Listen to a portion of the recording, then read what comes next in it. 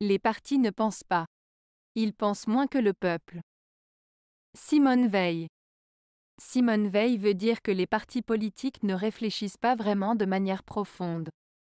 Ils n'ont pas une pensée autonome et critique, mais suivent souvent des idées toutes faites ou des intérêts partisans. En comparaison, le peuple, c'est-à-dire les citoyens ordinaires, peut parfois avoir des réflexions plus authentiques et sincères, car ils ne sont pas toujours influencés par des agendas politiques ou des intérêts particuliers.